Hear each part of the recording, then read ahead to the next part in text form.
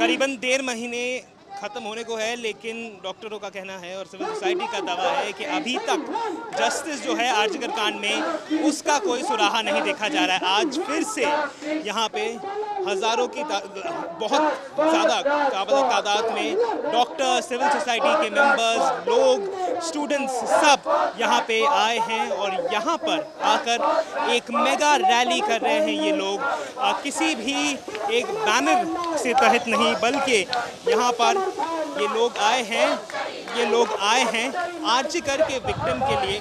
और यहाँ पे जैसे पहले भी देखा गया कि बहुत सारे लोग आए हैं। और इनका दावा है कि जल्द से जल्द इस केस की जो लॉजिकल सोल्यूशन हो, वो जल्द से जल्द हो। Camera person Satyaki Suryagni Roy, Aaj Tak Kolkata.